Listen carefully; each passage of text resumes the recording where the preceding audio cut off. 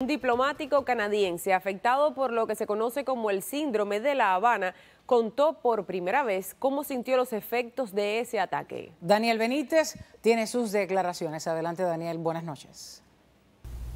Yeleni Yossi, muy buenas noches. Esta víctima es uno de los diplomáticos canadienses que se encontraba en la embajada de este país en La Habana. América Noticias esta noche conversó también con uno de los principales investigadores a nivel mundial en lo relacionado a las armas de energía dirigida, quien nos confirmó que Rusia y China podrían estar detrás de estos ataques.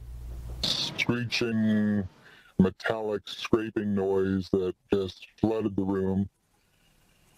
And uh, I listened to it for about 20 or 30 seconds, and then as it was fading, it went woo, woo, woo. Así describió este diplomático canadiense lo que sintió en medio de la noche tras uno de los ataques que han formado parte de lo que se conoce como el síndrome de La Habana. El funcionario, quien prefirió ocultar su identidad, también aseguró que cuando fue en busca de ayuda.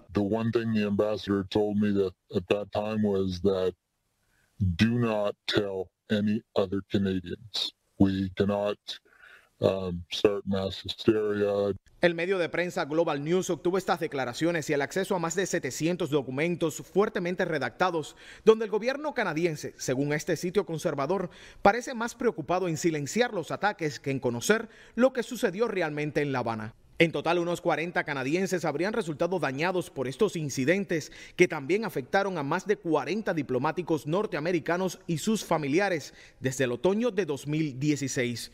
Una de las víctimas que estaba en Cuba en 2019 conversó con 60 Minutes ocultando su identidad. Realmente quiero que se cuente la historia Quiero que los americanos sepan lo que les sucedió a sus diplomáticos y quiero que los que resultaron afectados salgan y reciban atención. Esta noche América Noticias conversó con Luis del Monte, un especialista en tecnología de defensa y autor del libro La guerra a la velocidad de la luz, publicado en marzo de este año. Él aseguró que ataques de esta naturaleza formaron parte de la Guerra Fría y fueron usados por los rusos contra los norteamericanos en la embajada en Moscú desde los años 50. So the type of weapon that they're using El tipo de arma que utilizan es un arma de baja frecuencia, de muy baja frecuencia de microondas, para lo cual necesitas tecnología.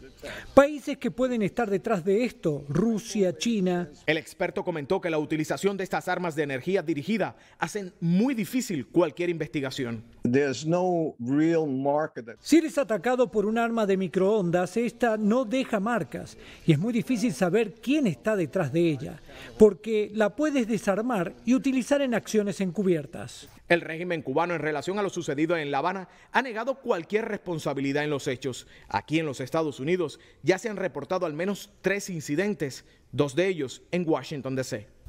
Y el tercer lugar aquí en los Estados Unidos donde se han reportado estos ataques es aquí en Miami. Hasta el momento se desconoce la cantidad de personas que pudieron ser afectados. Yo soy Daniel Benítez, continúen con más de América Noticias.